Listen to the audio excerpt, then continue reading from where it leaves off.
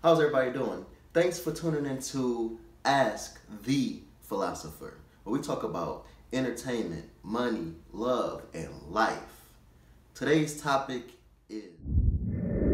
Yo, I already did my review on it. If you want to see how that goes, just put in my username and then go put in the name of the song. Vibes, the nostalgia, and the acting was superb on there. You could tell that Young Thug and Chris Brown definitely know how to defend themselves in real life. So definitely shout out to them for the City Girls.